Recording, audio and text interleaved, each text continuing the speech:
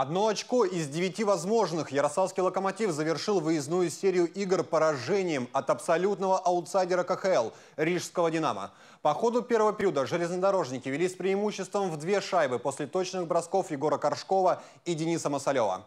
Однако еще до перерыва Хозяева отыгрались. Второй и третий отрезки встречи получились безголевыми.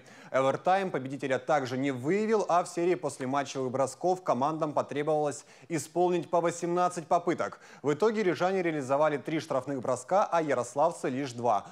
Оба на счету Данила Апалькова. 3-2 в пользу «Динамо». «Локомотив» терпит третье поражение подряд. Да, вели 2-0 и надали инициативу сопернику, надали им шайбу, дали преимущество, и они этим воспользовались. Вот, потом, к сожалению, мы не смогли забить.